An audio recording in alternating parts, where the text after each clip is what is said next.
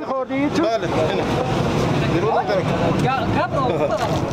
ملالت های پناهجویان افغان در کشور همسایه و همزبان ایران. جنگ بیثباتی و فقر در افغانستان در چند دهه گذشته میلیون ها افغان را به ایران کشانده. بیش از سه میلیون شهروند افغان در ایران زندگی می کنند که اکثرا کارگران مهاجر و پناهنده هستند. تعداد زیادی از پناهجویان فاقد مدرک هستند و هر لحظه ممکن است به سرزمین مادریشان بازگردانده شوند. من 24 سالمه. نزدیک 6 سال اینجا دارم کار می‌کنم. بعد همینجا به دنیا اومدم تو مهمان شهر همینجا بزرگ شدم. بعد از افغانستان چیز زیادی نمی‌دونم. روزنامه آمریکایی وال استریت جورنال روز یکشنبه 21 آذر در گزارشی میدانی از مرز افغانستان با ایران به موضوع اخراج پناهجویان افغان از ایران پرداخته. این روزنامه عنوان کرده که بعد از روی کار آمدن طالبان سیل عظیمی از پناهجویان افغان راهی ایران شدند.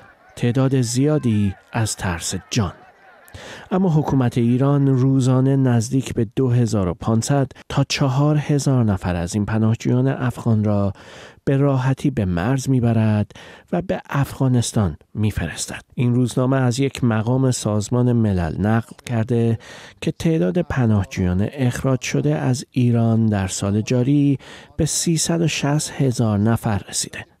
احمد وحیدی وزیر کشور ایران هم پیشتر در مهر ماه از پناهجویان افغان خواسته بود که به ایران نیایند چون به گفته او ایران نمی‌تواند به آنها پناه دهد آقای وحیدی گفته بود که نیروی انتظامی و استانداری ها در ایران زمینه را برای برگشت مهاجرانی که به سمت مرز این کشور میآیند فراهم می کنند.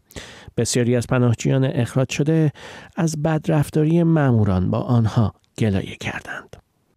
از کی تو راه بودین شما؟ از ما از ساعت 6 شب الان برای چی اومدین تو جون خاک جمهوری اسلامی؟ اومدیم که لقمه نون برای اونا در بیاریم ببریم بدیم تعداد زیادی از پناهجویان افغان در ایران مقصدشان ترکیه است که از آنجا در نهایت به اروپا برسند. سازمان بین المللی مهاجرت تخمین زده که نزدیک به 85 هزار افغان از کشورهای نزدیک به اتحادیه اروپا گریختند. هفته گذشته 15 کشور عضو اتحادیه اروپا موافقت کردند که چهل هزار پناهجوی افغان را برای اسکان مجدد بپذیرند. در میان کشورهای اروپایی سهم آلمان در پذیرفتن پناهجویان افغان از کشورهای اروپایی بیشتر است. آلمان متحد شده 25 هزار افغان را که پس از تسلط طالبان در کابل در معرض خطر قرار دارند بپذیرد. مهران کریمی رادیو فردا